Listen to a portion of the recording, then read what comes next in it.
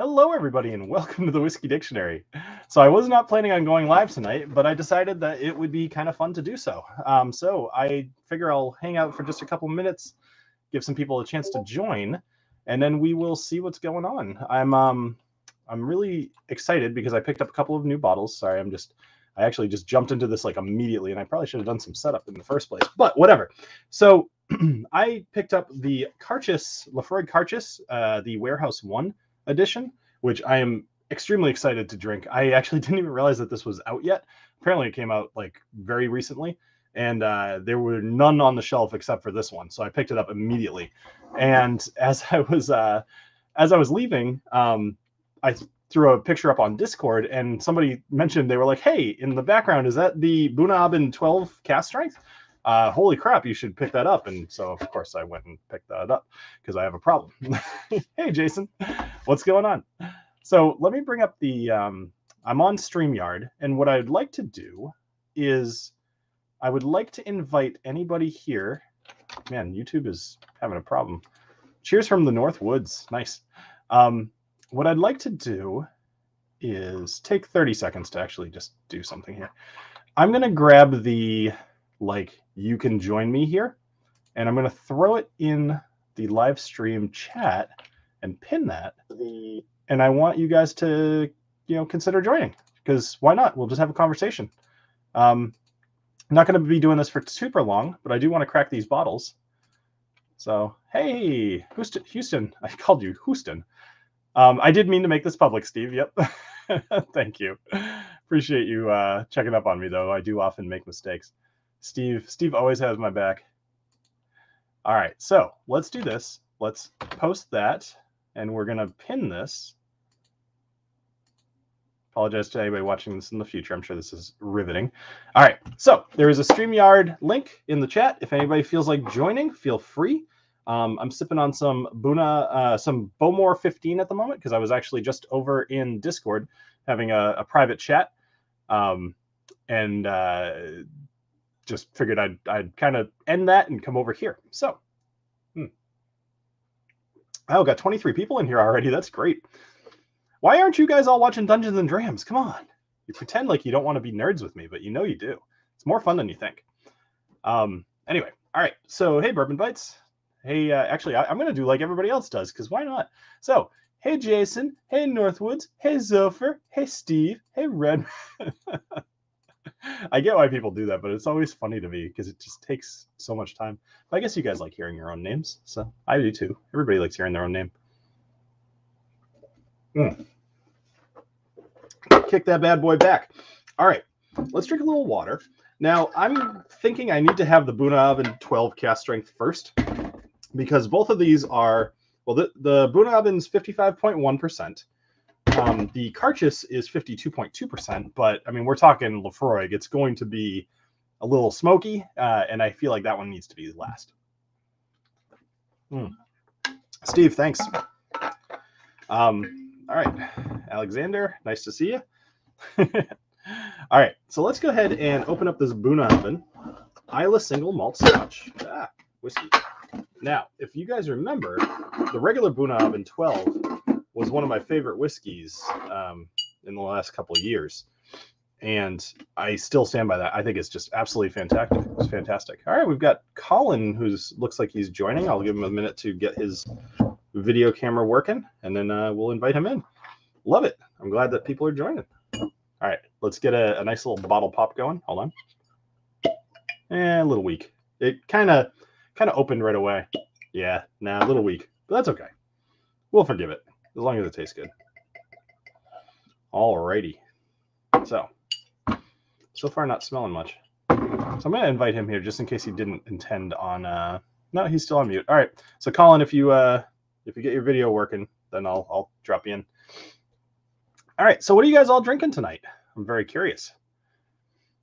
All right. Interesting. Um, I remember the Bunnahabhain. You know what I'm going to do? Because this is an ad libbed little live stream. Um, I'm going to jump in here and I'm going to go look up my old tasting notes from the Bunnahabhain and see how this compares because I think that sounds like fun. I actually am planning on breaking my whole little summer of streaming and not doing real videos, uh, probably to film something on the Laphroaig Cairdeas. But doing a little first taste sounds sounds like a good time to me. Oh, Steve not feeling well? Oh, that's too bad. I didn't uh I didn't pick up on that. Oh well. All right, let's see. So my notes on the original Bunnahabhain were that it was fruity florally, like roses, clean and crisp, more in line with a Speyside than you'd think. Maybe some saltiness, but it's not prevalent for me. And then the taste was sweetness like brown sugar, malty, vanilla, oak, pear, apple. All right, so um, Colin, I see a whole bunch of color. I think Colin just wants to be part of the party. That's all right.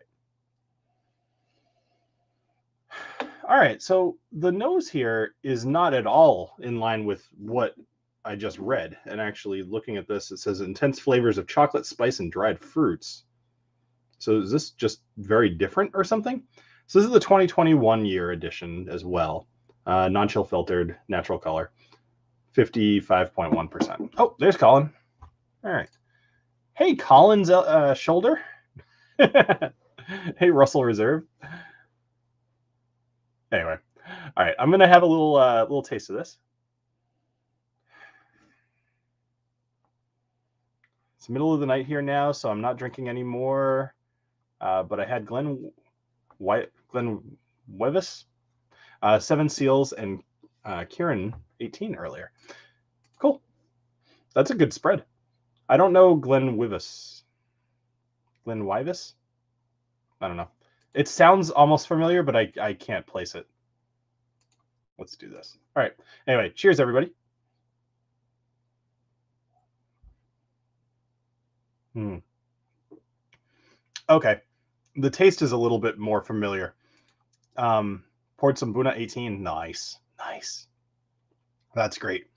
I did see a couple of different Bunas on the shelf. Um, the uh, Toichida, I think to, to, Tochida, I think that's how you say it. Then Sturadu. Um, I, I, have pronunciations in this file I have in front of me, but I don't think either one's right. Um, either way, that's great. Bunna 18. I would love to try that. I'll need to keep an eye out for it. Yeah, so it's funny. I walked into the store, and like I said, I, I actually was go. All right, I see a thumbs up. Whoops. No. Well, you know what, Colin? Whenever you're ready to talk, just throw yourself off uh, off mute, and you'll be good to go. All right. Anyway, so I walked into the store, and I was actually going to follow up on something with the the three chord barrel pick that I did. Which, by the way, I still have several bottles left. So if anybody's interested in purchasing the three chord single barrel, I was actually just talking to somebody in, in um, I realized I have more repeat buyers than anything because people who buy it love it and they buy it again. So if anybody's curious, just send me an uh, email at thewhiskeydic, at gmail.com and we'll figure something out. Or you can go to my website, thewhiskeydictionary.com, and there's a link there. But anyway, so I went in to do a little business and the guy I was looking to talk to was not there. So I walked to the shelf as I do, and I was checking out the scotch and I ran into the Laphroaig, and it was the only one on the shelf. And that alone says a lot. But then I realized, I'm like, wait a minute, this is the Cairdeas. Why is this out? I didn't even think this was out yet. And uh, so I grabbed it, and it was $109. And this particular place does tend to have higher prices. So I was not like psyched about it, but I'm also like, this might be the only time I see this. So I, I was like, okay. And I looked it up and it was like a hundred, hundred bucks uh, around. So I'm like an extra 10 bucks for the exclusivity. Yeah, I'm, I'm good with this. So I pick it up and I, I bought it. And like I said earlier, uh, somebody mentioned the Bunnahabhain 12 cask strength, and so I ended up walking back into the store after seeing the picture, and then I picked that up. So I ended up spending 200 bucks out of nowhere today, but uh, that's what Patreon's uh, that's what Patreon is for. So the ability to to splurge a little bit for things that I think are going to be tasty, and so far this is pretty tasty you know, it's funny. I'm realizing I'm a little out of practice. I haven't been. Uh, I've been drinking plenty of whiskey, but I haven't been doing it with the idea of filming. So it's. Well, thank you, John and Jason. Appreciate that. Look at that. Three chords tasty. Three chords delicious. You guys are the best. Thank you. Hmm. I'd be curious with the Bunna CS. Uh, that's not a neck pour. Yeah, me too. Uh, my last 12 neck pour was just okay, but after a day of breathing, it was excellent. Totally with you. I think um, I think that this will probably open up just like the other one did. All right, so GlenWyvis is quite a new distiller. Okay, that makes me feel better. I always feel bad when I don't know something because it's kind of like what I'm supposed to do. it's just know all this shit. So GlenWyvis is quite a new distillery not far from uh, Inverness that was crowdfunded and is community owned, and this was their second release. Okay, am I saying that right? GlenWyvis kind of looks good. I like that with the W in the in the center.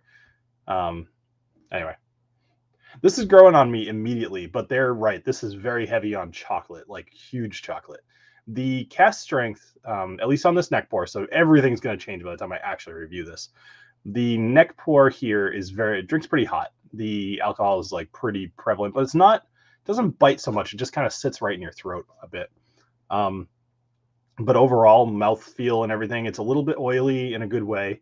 it tastes very chocolatey. It's a bit malty. hey, y'all nerds, remember to hit thumbs up. Thank you, Emily. Very good. Hmm, I'm enjoying this. Very tasty. Now, if you'll forgive me, I need to actually get up and grab one more glass because I didn't plan on drinking that Bowmore. Uh, so give me 30 seconds. Because I have a whole stack of glasses.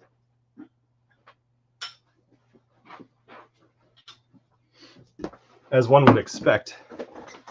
All right. What's the best store in Massachusetts? I, I mean, there's a couple, right? So the one for me, there's there's three that come to mind. Um, there is Julio's Liquors, which is in Westboro, uh, Central Mass. Then there is Gordon's, which is in Newton, I believe. And then uh, Norfolk Wine and Spirits, which is probably in Norfolk.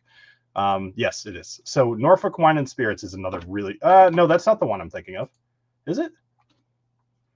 Yeah, that is the one I'm thinking of. It's very unassuming from the front. Um, much like my ex girlfriend.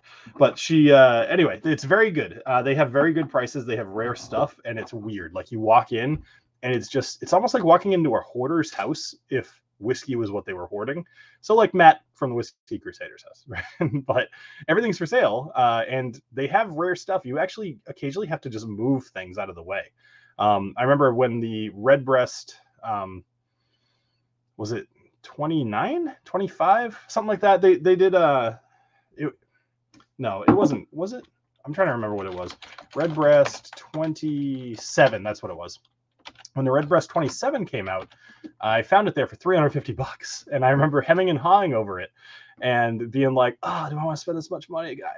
You guys know, probably know, I'm like, like notorious for being cheap when I buy whiskey. Like I've been doing this for seven and a half years, and I still refuse to spend money on whiskey because it just doesn't seem like I, would rather keep the mentality of like I don't have infinite money to buy whiskey. Like I, I mean, some of my viewers do, um, but most of you don't, and I don't either. So anyway, I was hemming and hawing over this, and now I'm super regretting it because it's available for like five hundred dollars if you can even find it. So that kind of hurts. Uh, hello, Bill. Hey, Donner Pass.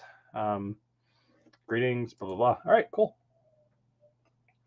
So just keep in mind if anybody's interested, um, I'm gonna probably hang on until about 10 o'clock, and because uh, I'm not gonna interfere with um, Clifton stream. But if anybody wants to, there is a link right in the chat pinned to the top for you to come join me here on StreamYard, and I'd love to just have a quick little conversation. That'd be fun.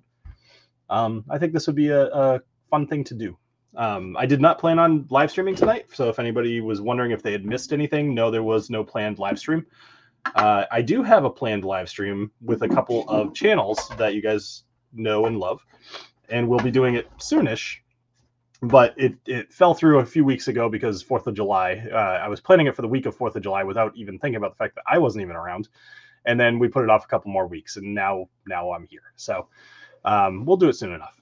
But all right, for those just joining, I'm drinking the Bunnahabhain Cask Strength 12 right now, and I'm about to switch over to the, the new Laphroaig Cairdeas. So very, very excited for that. All right, let's kick this one back. Overall, this has been pleasant. Uh, it's about, I want to say it's probably 15 to $20 more than the regular Bunnahabhain 12. I very different flavor. Um, oddly enough, it's it's almost like it's not even the same whiskey. So I'm not sure what I think about this yet, but it's still very much the neck pour. So we're gonna see what evolves over time. Burben says, "What a dick." Yep, I sure am. Uh, it'd be fun to do a planned live stream where whomever wants to join. Yes, totally. I actually I will make that a thing. Um, this is totally just just uh, what do you call it? Yeah, love a rambling dick stream. Thank you, Sawyer fam. Appreciate that. Let's throw your your little face up here with your yellow. Um, I do appreciate the super chat. Always helps. So, interesting thing. If you guys remember, the last time I did the Laphroaig Cairdeas, these little guys come in the Laphroaig packets, and many of you will know and recognize these because we're all peat heads in, in some shape or form, or you will become one. If you are not, then I encourage you to, to try.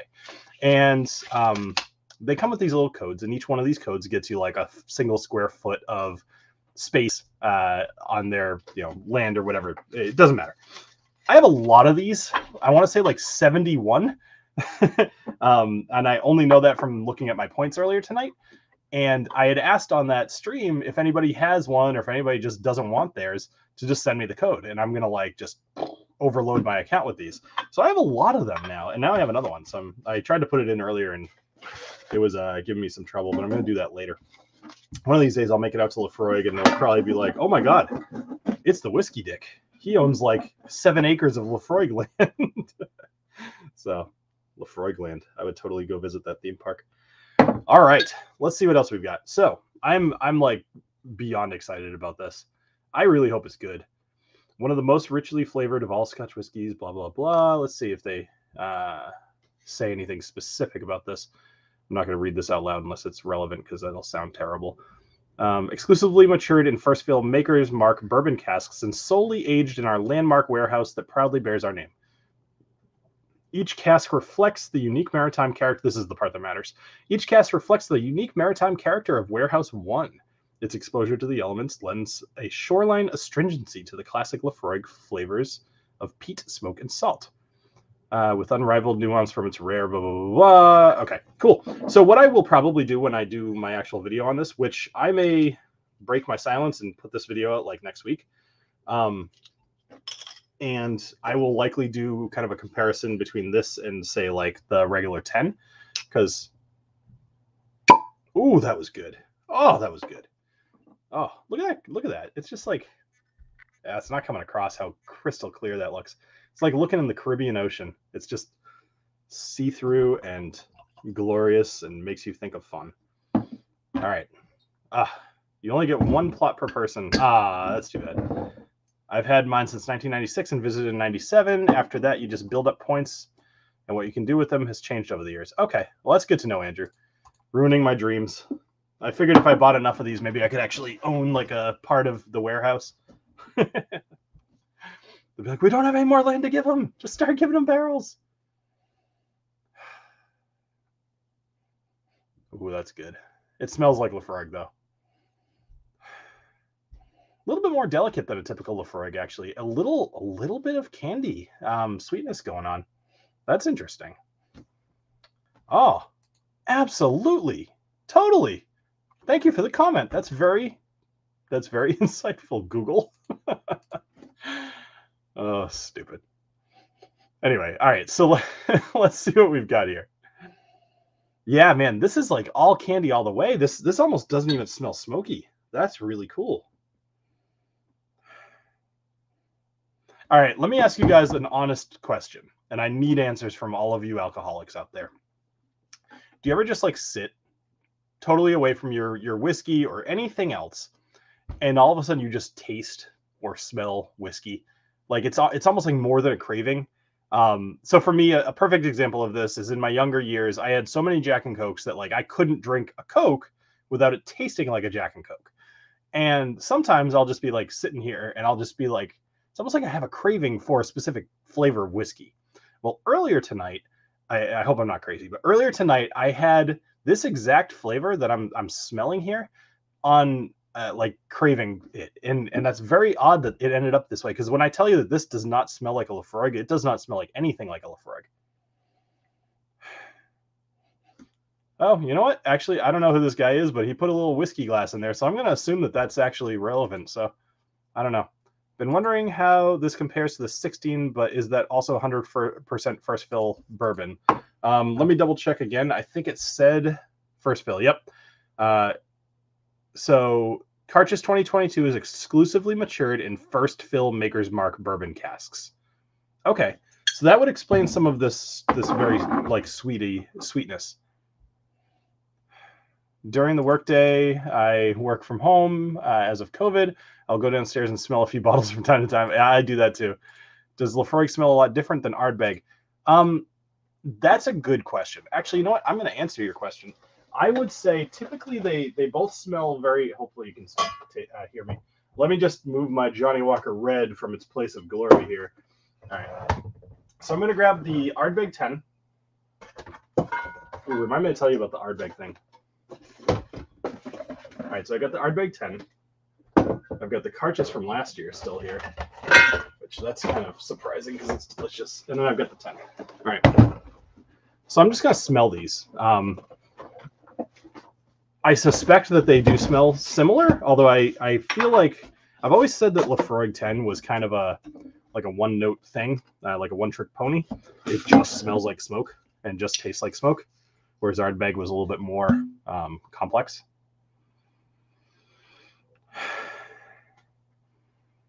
All right.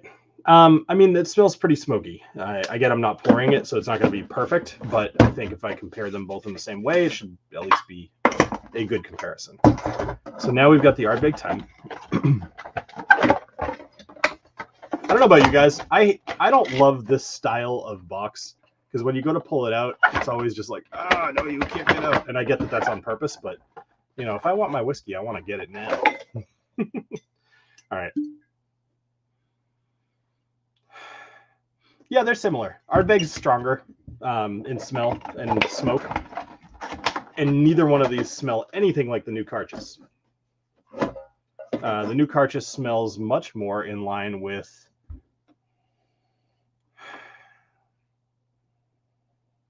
it's just so it's so delicate and like not overpowering and that makes me a little sad because it's not what i'm expecting but i've i've also learned over the years that that going into whiskey tasting and nosing with expectations is a great way to get let down.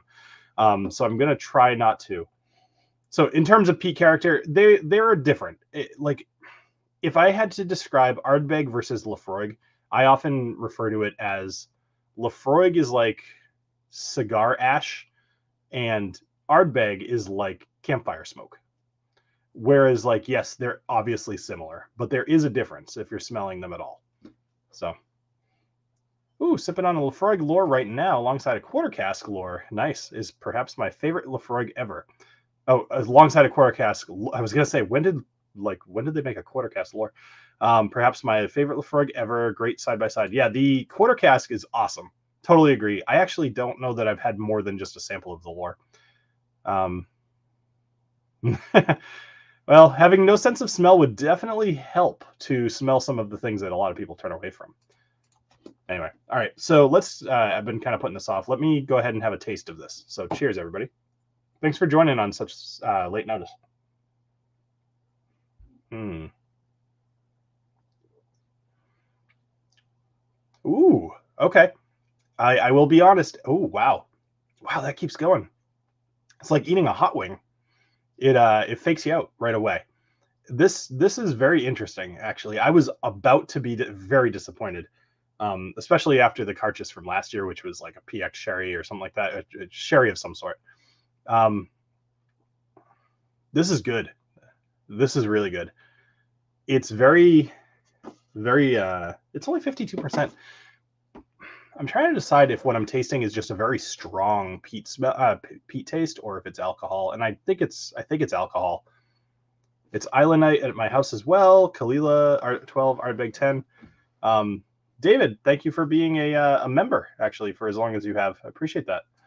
Um, all right, so it's Islay Night at my house as well. Caol Ila 12, Ardbeg 10, Laphroaig 10. You know, that's a that's a pretty good one. I are you starting with the Caol Ila 12? Because I gotta tell you, of those three, um, I would say Caol Ila 12 is my least favorite. Laphroaig 10 is right in the middle, and Ardbeg 10 is my favorite of those three. Totally with you, Alexander. The uh, 2021 Cairdeas was amazing. Totally agree. This one I'm not calling amazing yet.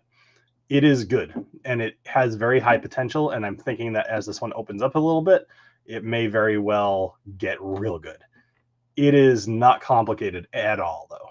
It's light on the peat uh, as far as like just any other Laphroaig. Most of them taste very heavy peat. This one does not.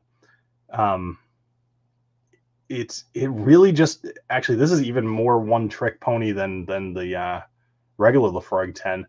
It's pretty much just sweet and peat, and that's it. Um, I don't know. I really hope this one gets better. I'm sure it will. Honestly, I have enough faith in Laphroaig that I think that this one will get better as it opens up a bit. And it's really hard to it's hard to judge a neck pour. I'm an Ardbeg fan. Never had the Kahlua before. Just found a, a, bottle today. All right. Well, it's good to hear that they're uh, coming back to the shelves. I had a really hard time finding the Caol Ila 12 last time I was looking for it. It was uh, I actually went to at least five different places uh, before I finally think I, I think I finally bought one off like Drizzly or something like that because uh, it was just no. You know what it was? I used Drizzly to find where they had it, and then I went and drove there. So, but I had I remember having to drive a while. Hmm. So anyway, um, it's funny. I'm, I'm just starting to finally get a, a couple extra people coming in here, um, and I'm about to sign off. So I know this has been a super super fast one, and that was kind of the intent. Is I really just wanted to do kind of a first tasting of both of these, especially uh, the Bunnahabhain 12. I've just wanted to try the cask strength for a while. That has promise. The, the this Laphroaig, uh, the jury's very much still out on that one. Um, anyway, well, I guess thank you all for joining.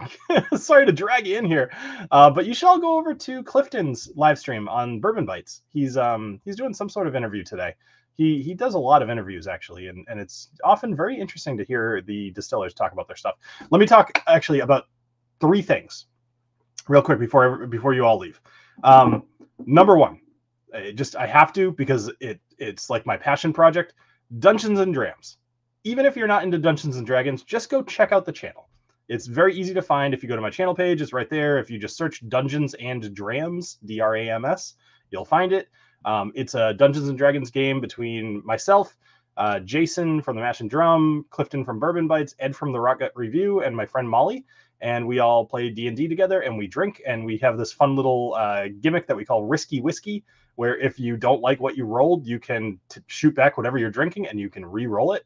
so it's really fun. Um, so that's fun. That's a that's a fun little passion project. Uh, the next thing I want to talk about real quick. So I am talking with some of you guys may have heard this week that there was there is a distillery in New Hampshire that is uh, producing whiskey using what essentially is boiled crab water. so yes, exactly what I said. Um, uh, anyway, so if you want to see that, I'm gonna go to their distillery and I'm gonna film. I'm actually I've been talking to them. I think I'm gonna go there on July 23rd, and then I'm gonna film and edit, and I'll probably release it the following week. Um, but the idea is that there's this invasive green crab species in off the coast of New Hampshire, and they fish a whole bunch of these up, and they're they're just everywhere apparently. They take them, they you know boil them, and then they use that water and they you know you can eat the the crab but they use that water to help make their whiskey. It's a wild concept and apparently it tastes pretty good. I don't know they're selling out like crazy so i'm actually very excited to do this and i think it's just going to be cool. Plus it's been a while since i've been in a distillery. It's been pretty much since before covid uh, so i'm i'm excited to just do this and film and kind of get to flex that bit. Um, the last piece uh, so actually i guess that's kind of it. Uh, yeah so only two things d&d and crab juice All right. Everybody go over to Clifton's stream and have an awesome rest of your night. And thank you for joining me here on the Whiskey Dictionary. Cheers.